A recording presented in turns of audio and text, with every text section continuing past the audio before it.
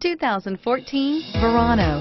Buick Verano is a compact car built on the Delta II platform, designed and built from the ground up with the idea of it being a Buick, and is priced below $25,000. This vehicle has less than 20